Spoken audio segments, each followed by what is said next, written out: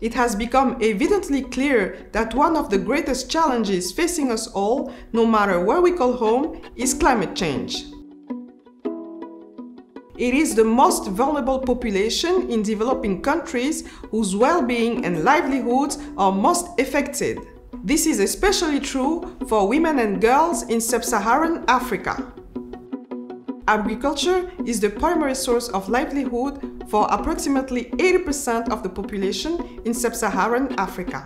And though women represent at least half of the region food producers, they have a much lower ability than men to respond and adapt climate shocks. This is due to several reasons, including women's limited access and control over agricultural resources, social cultural norms, and limited decision-making power on agricultural strategies. All those factors have brought to the forefront the urgent need to prioritize gender-sensitive agricultural policies for a more effective response to climate change. Without effective climate policies, it becomes impossible to truly mitigate and adapt to climate shocks. For over 20 years, the Partnership for Economic Policy has implemented over 350 projects in 64 countries with the goal of informing local and national policymaking through high-quality evidence generated through rigorous empirical analysis by local researchers working in partnership with policymakers. With this mission, and in response to the urgent need for gender-sensitive climate policies in sub-Saharan Africa, Global Affairs Canada awarded funding to PEP for a three-year research initiative on climate change in Africa, impact and response for women and girls. Through this initiative, PEP supported five research projects in Burkina Faso, Cameroon, Nigeria, Malawi, and Tanzania. These projects were led by teams of local researchers and government representatives, following the PEP fostered co-production research model. Agriculture in Burkina Faso is the primary economic sector, employing 80% of the working population. Yet, with 97% of the agriculture being rain-fed, irregular rainfall and drought episodes have had a major impact on the country's food security. Gender inequalities are significant with less than 8% of landowners being women.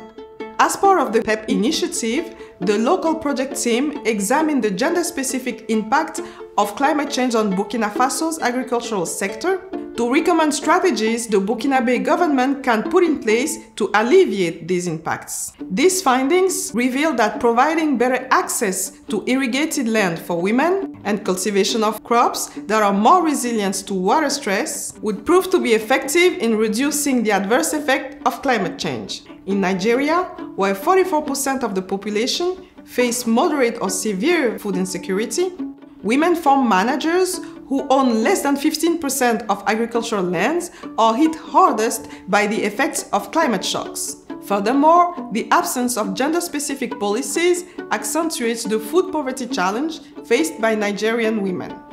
PEP project team conducted a scientific analysis to identify how climate shocks contribute to the gender gap in food security while testing policy measures to build the resilience of women and mitigate their fragile food security status. These measures include promoting crop diversification and providing cash transfers to stimulate access to food in the right quality and quantity for households with female farm managers. Throughout those five projects, the Partnership for Economic Policy adopted its unique three-pronged approach of conducting high-quality studies based on rigorous empirical analysis, using local on-the-ground researchers, working in close collaboration with policymakers and stakeholders.